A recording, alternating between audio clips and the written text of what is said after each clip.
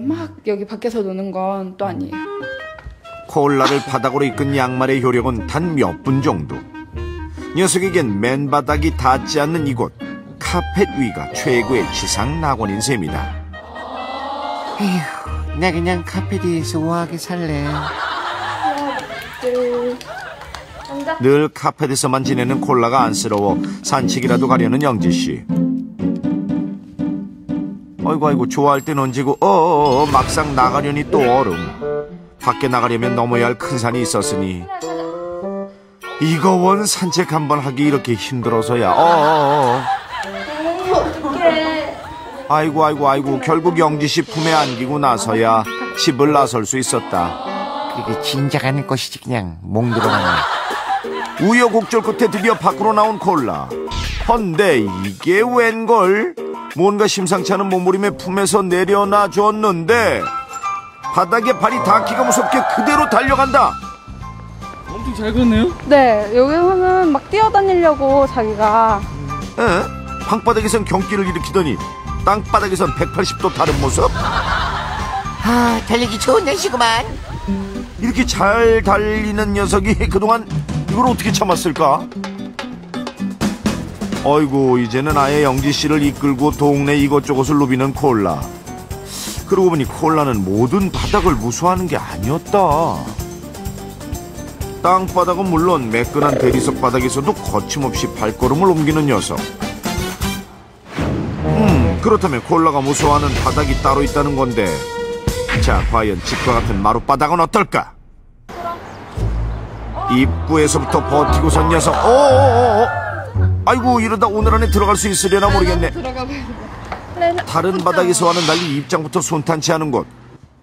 조심스레 마룻바닥에 내려놓는데 어, 난 누구 가니 여긴 어디? 어, 어디니? 어디야? 이러지도 저러지도 못하고 역시나 자동 얼음 내려놓은 곳에 그냥 그대로 굳어버리고 말았다. 아 나무바닥을 못 걸어요 강아지가? 네. 희한하네 그게 왜 나무 마룻바닥에만 서면 콜라는 한없이 작아지는가? 아, 마룻바닥 없는 곳에 살고 싶다. 어, 그럼 여기서 잠깐 마룻바닥의 촉감이 싫은 걸까? 아니면 그 모양이 싫은 걸까? 그래서 나무 무늬의 장판을 준비. 자, 제작진 확인 작업에 들어갔다. 일단 콜라가 좋아하는 장난감으로 관심을 끌어보는데 콜라의 선택은 나무 무늬 장판 위로 걸음을 옮기다가 저 혼자 소스라치게 놀랐다. 갈까 말까 그것이 문제로다. 이거 이거 이거 어디서 많이 본 건데 이거 이거 어디서 본 거란 말이지 이거. 다른 집 가도 그냥 이런 나무 장판이거나 이런 바닥이면 뭐안 걸으려고 그러더라고요. 나무 무늬 바닥은 모조리 싫다. 이 세상에 나무 장판은 다 가라. 그렇다면 집에 있는 그 긴 시간 동안 카페 뒤에서만 생활한다는 건데 자 사람들이 있건 없건 하루 왼종일 넓은 집 다 놔두고 굳이 좁은 카페 뒤에서만 돌아다니고 있다. 무슨 다람쥐 쳇바퀴 도는 일상을 여실히 보여주는 콜라의 행동 반경. 아이고 녀석 안쓰럽기까지 하다. 어떡하니 널 그래서 콜라의 성공적인 마룻바닥 진출을 위해 전문가가 나섰다 6개월 전부터 바닥을 걷지 않으려는 콜라. 대체 녀석에게 무슨 일이 있었던 걸까? 왜 그런 걸까요?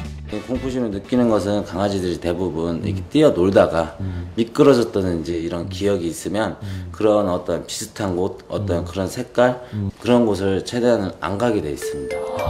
음, 분명 집 어디에선가 미끄러졌거나 다쳐서 좋지 않은 기억을 갖게 됐고 그 일로 점점 바닥을 딛지 못하게 됐다는 건데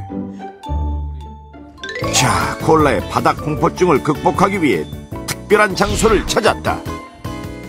집은 자기 영역이고 피할 곳이 있기 때문에 이런 낯선 장소로 와서 어떤 이제 주인이랑 어떤 교감을 통해서 서서히 마룻바닥에 대해서 적응 훈련입니다.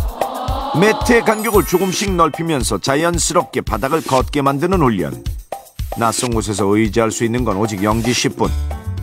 가자. 자신도 모르게 바닥 위를 걷게 될 거라는데 어, 누나 나 여기 어떻게 왔어? 하지만 지금부터가 고비 시간이 지날수록 점점 드러나는 바닥의 모습에 발걸음은 무거워져만 가고 계속되는 훈